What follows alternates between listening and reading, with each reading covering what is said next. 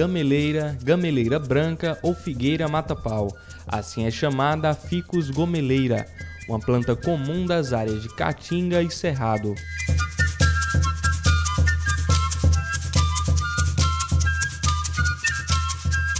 A gameleira recebe esse nome graças à sua utilização na fabricação de gamelas, aquelas bacias pequenas de madeira usadas para diversos fins.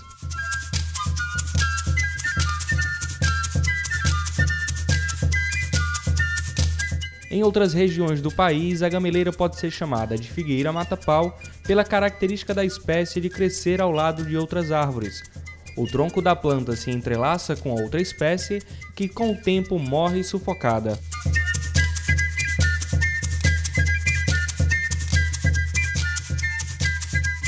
A gameleira é bastante utilizada na arborização de áreas urbanas, recomposição de matas ciliares e áreas degradadas. Os frutos da planta são consumidos por morcegos, macacos e algumas aves, que disseminam suas sementes.